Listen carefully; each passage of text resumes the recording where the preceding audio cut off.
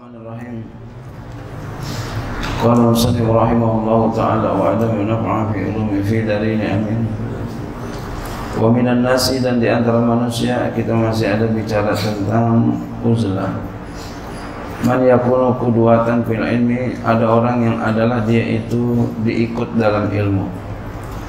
Jadi orang ini mempunyai ikutan dalam ilmu. Dia itu diikuti dalam ilmunya diambil faedahnya.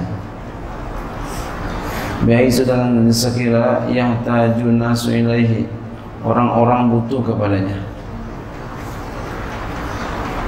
Fi amri dini pada perkara agama mereka.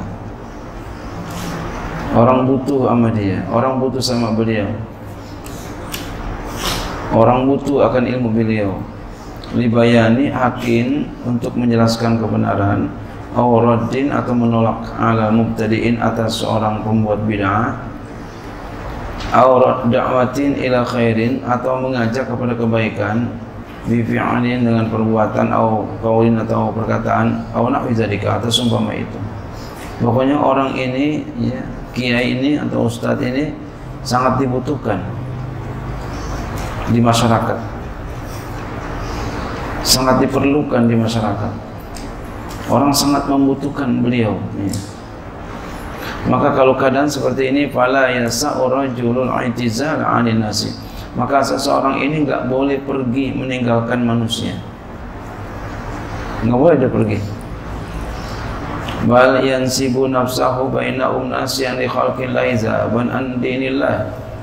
Bahkan dia tegakkan dirinya di antara mereka hal keadaannya untuk memberikan nasihat kepada makhluk Allah lagi untuk memelihara daripada agama Allah. Mubayyinan lagi untuk menjelaskan li ahkamillahi ta'ala bagi hukum-hukum Allah ta'ala. Emang kenapa? Likauli karena ada sabda Nabi sallallahu alaihi wasallam.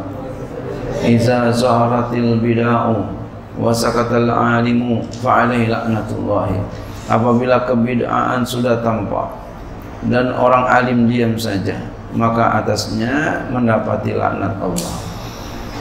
Jadi kalau begitu dia butuh. Dia itu dibutuhkan oleh masyarakat maka oleh karena itu dia jangan pergi dari situ. Dia harus tetap di situ. Ya, lain hal yang kemarin ya, dia nggak dibutuhkan. Dia nggak diperlukan. Nah, beda sama yang kemarin. Ini dibutuhkan maka dia harus di situ mengajarkan, memberitahukan, memperbaiki, memelihara agama Allah Subhanahu wa taala, mengajarkan ya masyarakat yang enggak tahu ya supaya jadi tahu.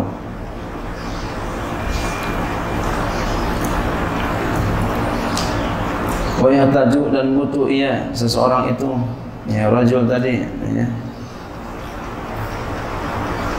Hina izin ketika itu Fisuhbatin nasi dalam bersahabat kepada orang-orang Ila sabrin tawilin kepada sabar yang panjang. Ya harus sabar dah. Wasalamin azimin ya. Selamat yang besar Wa nazarin natifin pandangan yang lembut. Wasti'anatin bilahi daimatan. Wasti'amatin da bilahi daimatin Dan minta tolong yang senantiasa kepada Allah Selalu minta tolong kepada Allah, jangan pernah berhenti. Selalu minta bantuan kepada Allah. Orang yang berdakwah kepada ya manusia mengajak manusia itu harus selalu penuh minta bantuan kepada Allah senantiasa.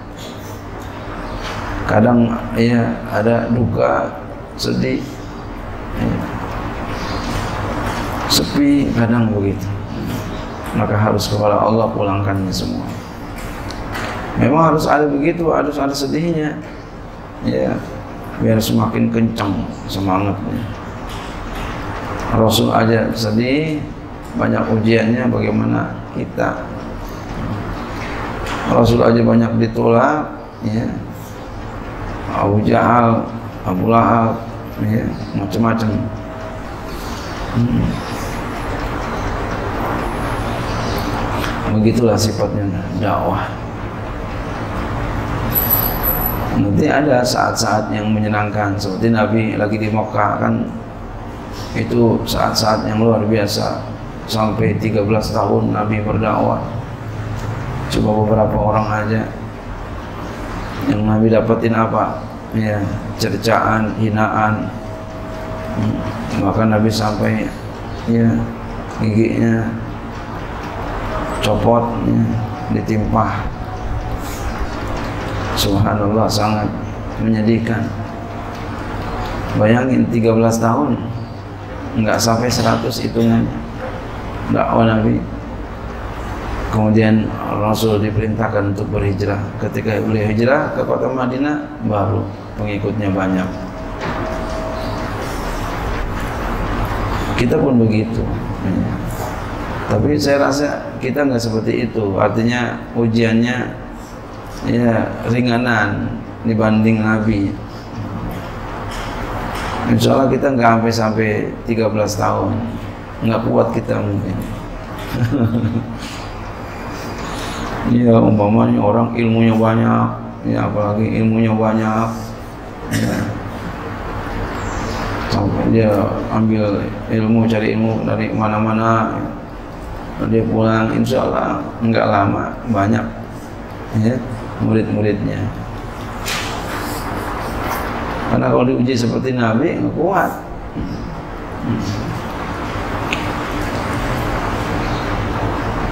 Ya, takut nanti hatinya ke mana-mana. Hatinya nggak ridho hatinya nggak nerima apa yang ditakdirkan oleh Allah. Tapi kalau Allah kalau Nabi selalu menerima sampai 13 tahun bayangin tuh. Sebentar sangat lama 13 tahun. Wa yakunu fil makna dan ada pada maknanya itu munfaridan anhum. Menyendiri daripada mereka. Itu menyendiri daripada mereka. Wa in kana bisyakhsi sekalipun dengan badannya itu syakhsnya orangnya bersama mereka jadi adalah pada maknanya itu dia menyendiri dari mereka. Walaupun badannya sekalipun badannya orangnya bersama mereka. Jadi hatinya menyendiri. Hatinya nggak seperti kebanyakan orang. Orang pengen ini orang pengen itu dia mah enggak. Lurus saja. Fa in kallamuhu kallamahum maka jika mereka berbicara kepadanya ia pun bicara kepada mereka wa in zaruhu azamahum ala qadrihim wa syukurihim. Dan jika mereka itu menziarahi dia maka ia pun mengagungi mengagungi mereka atas kadar mereka dan syukur mereka. Perhatiin. Wa in zaruhu azumahum jika mereka menziarahi dia, dia maka ia pun mengagungi mereka atas kadar ya, kadar mereka dan syukur mereka.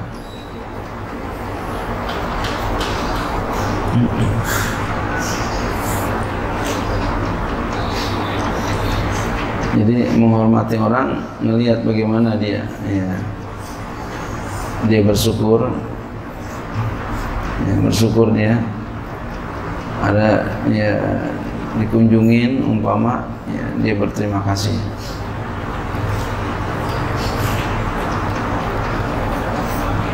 Wa in sakatu anhu wa aradu igtam mazalika minhum. Dan jika mereka diam darinya dan mereka berpaling maka ia ngambil kesempatan itu daripada mereka. Iya. Dia enggak berkunjung kepadanya dia ambil kesempatan untuk apa? Istirahat wa in kanu fi khairin wa akin sa'adahum. Dan jika mereka berada dalam kebaikan dan kebenaran maka ia tolong mereka. Wa in saru ila lagwin wa syarin khalafahum wa radda alaihim wa ajarahum wa zajarahum dan jika adalah mereka kepada ya, perbuatan yang sia-sia dan keburukan maka ia lah, ia halangi mereka dan ia tulak mereka dan ia tinggalkan mereka dan ia hadang mereka. Summa yakumu kemudian ia berdiri bijami hukukim dalam hak-hak mereka. Minaz ziyarati daripada ziarah wal iyadati dan menjenguk wa qada'il ajati dan meluruskan hajat-hajat allati turfa'u ila yang diangkat kepadanya. Ma'amkan semampu mungkin. Ya. kalau di masyarakat kayak begitu orang undang kita orang ajak kita minta kita yang memang dia benar memang umpama undangan tahlil kalau memang bisa kita datang datang. Hmm. kalau bisa kalau kita mampu maafkan aku. Wala yutalibuhum bil mukafaati. Dan dia tidak menuntut mereka dengan membalas. Jadi kalau ada orang ya kita datang ke tempatnya kita jangan minta balas. Jadi jangan kita paksa orang untuk datang ke tempat kita nggak boleh ya nggak boleh kita paksa lu datang ke rumah gue ya awas nggak datang Jangan begitu. Wala yutalibuhum bil mukafaati. Ya tidak tuntut mereka dengan balas. Jadi jangan kita tuntut orang untuk datang ke rumah kita. Kita udah datang ke rumahnya, kita tuntut terus datang ke rumah gua. Jangan. Wala yutalibuhum. Jadi bagaimana kita kita supaya orang datang kepada kita kita pantasin diri kita dengan orang yang pantas didatangin rumahnya. Dengan apa? Bil akhlakil karimah dengan akhlak yang mulia.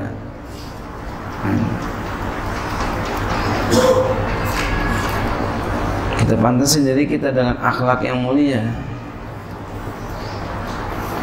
Biar didatangi nama orang. Jangan kita paksa orang untuk datang ke rumah kita atau ke tempat kita. Itu namanya kita nggak bagus. Harusnya pak kita datang ke tempat ini ya. Nanti setelah itu terserah lah. Terserah dia mau datang apa enggak. Kan kadang begitu ya, kita paksa orang untuk datang ke rumah kita. Ya, jangan sampai begitu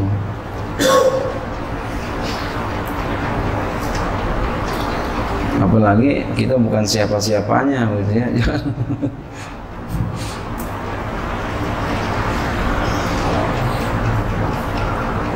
Wala dan juga tidak mengharapkan demikian itu balas daripada mereka. Jangan. Jangan harapin balas. Jangan harapin kalau kita yang ya kita yang pantasnya kita datang ke tempatnya pantasin begitu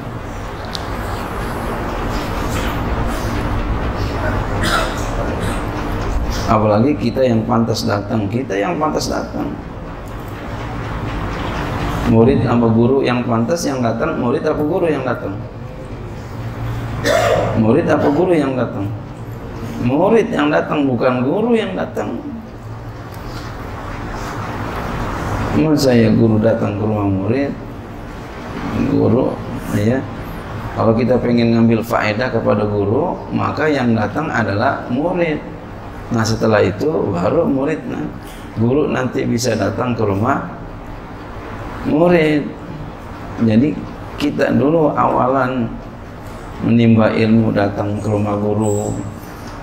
Setelah itu baru ntar guru setelah melihat kesungguhan kita, kebenar-benaran kita, dia akan tengokin kita walaupun jauh tempatnya.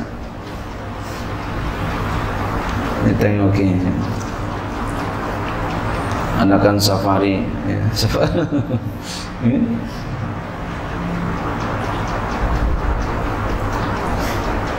Jangan sampai itu yang tadi seperti tadi kita kita balas ya aduh ya Allah jangan seperti itu nah wala yurihim min nafsi isti'asan lidzalika dan tidak ia perlihatkan kepada mereka daripada dirinya itu yang merasa kesepian bagi demikian itu.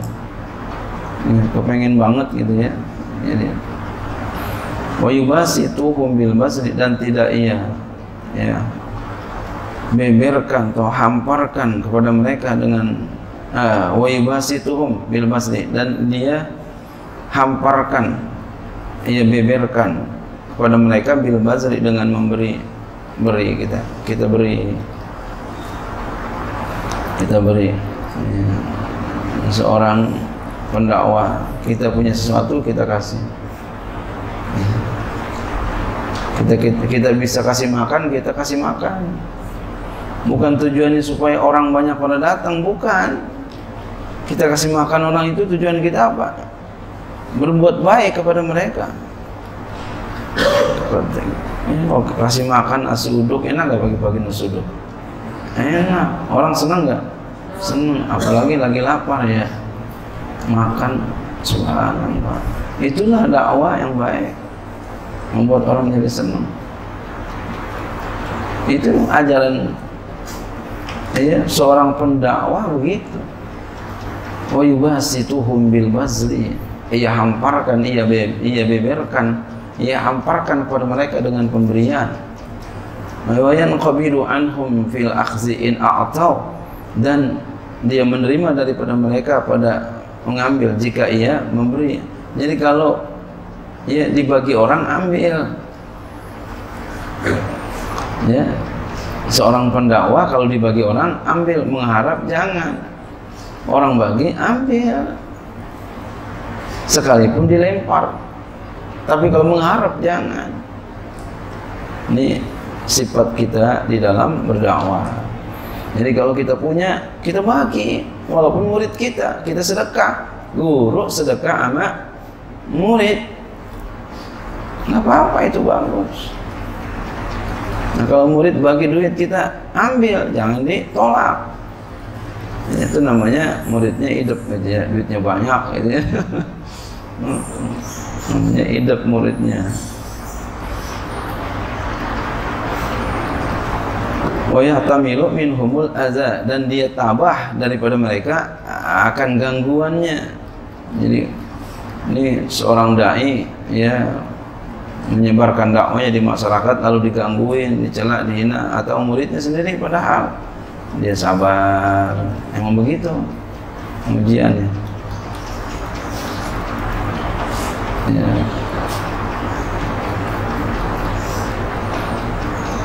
wa yuzhiru lahumul basyara dan ia tampakkan kepada mereka akan kegembiraan. Ya jadi tampakin kegembiraan. Walaupun di rumah lagi kusut. Dia gembira. Di rumah dapur nggak ngebul jangan lagi ngajar sambil sedih jangan. Guru kayaknya kesian banget lagi nggak ada duit kali ya. Jangan. Jadi tampakkan hati senang terus. Padahal lagi susah. Nanti Allah akan senangi. Gitu ya. wa yatajammalu lahum bi dan dia berhias berindah kepada mereka dengan zahirnya. Jadi guru kalau ngajar pakaiannya biar bagus. Bagus bukan berarti baru, rapi, cakep. Hmm, bagus. Yaktumu hajatahu anhum dan ia tutup akan hajatnya daripada mereka. Jangan minta-minta sama murid. Jangan sampai murid yang suka bagi duit senyumnya lebar ya murid yang pelit ya, diam aja nggak senyum nggak pernah bagi duit ya. kesel sama muridnya. Aduh ya Allah jangan sampai begitu. Musibah nih kalau begini. Ya. Jangan. Karena seorang murid kalau dia sedekah enggak sedekah itu buat dia. Kalau dia rajin sedekah ya buat dia nanti pahalanya. Enggak sedekah pun buat dia kita sebagai guru memaafkan, mendoakan terus, mendoakan. Jangan pernah kita mengharapkan sesuatu sama murid kita. Jangan pernah mengharapkan uang, mengharapkan makanan, jangan pernah. Yakin pasti orang yang ngajarin ilmu Allah akan penuhi semua kebutuhannya awal-awal itu ujian namanya. Ujian. Ingat tuh jangan pernah. Ada pesan kepada murid yang satu. Coba ente kita minta-mintain kepada teman-teman ente. Ya. Mintain teman-teman. Jangan begitu. Jangan sampai begitu. Pokoknya kita ngajarin ikhlas. Ya kita ajarin dengan penuh keikhlasan secuil pun jangan sampai. Apalagi sampai menyiksa. Ada murid enggak? Jamaah enggak? Ya umpama ya bikin pengajian muridnya enggak ada bayaran. Itu muridnya sampai disetrap karena enggak bayaran. Innalillah diajarin belakangan innalillah wa inna ilaihi raji'un. Itu namanya apa? Kita ya kalau seperti itu tuh guru ngaji yang begitu berarti apa? Dia ya yakinnya kepada Allah tipis. Ngajarin ngaji tapi tipis yakinnya. Jangan sampai begitu. Ya yang sedekah enggak sedekah senyum. Yang bagi enggak bagi senyum. Dua-duanya sama. Semua sama ya semua didoain diberikan keberkahan semuanya minta sama Allah. Begitulah sifat seorang guru yang mulia.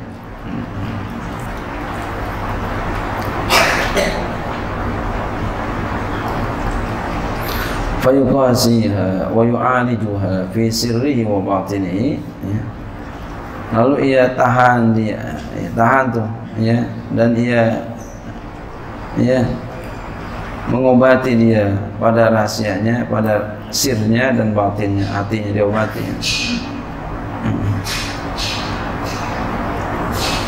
Semua yang zuru ila nafsi kemudian ia lihat kepada dirinya, wa ja'alullah hafzan minal ibadatil khalisati. Maka ia jadikan baginya bagian daripada ibadah yang murni. Jadi ini ibadah tuh. Ya, enggak minta-minta sama murid. Ya, tahan obatin diri kita. Hadza muhassalu ma ma sayazkuruhu nasimu fil abiyatil atiyati. Ini adalah yang dihasilkan dari apa yang akan disebutkan oleh Nazim pada bait-bait yang berikut. Summa innahu rahimallahu taala qaddama na'ya an suhbatil mu'tinin al mutasayyinin al bidini kemudian sesungguhnya beliau rahimahullahu taala akan mendahulukan membahas tentang larangan daripada berteman kepada orang-orang yang batil yang meremehkan pada agama ya alal kalami al uzlati atas membicarakan atas uzlah isyaratan karena mengisyaratkan min awal amri daripada awal perkara. Ya ila annal uzlat al matlubata kepada bahwasanya uzlah yang dituntut inama hiya itu anha ulai daripadanya. Ya faqala maka ia berkata la tashaban من كان أهل بطالة وتساهل في الدين ذاك هو البلاء. والله أعلم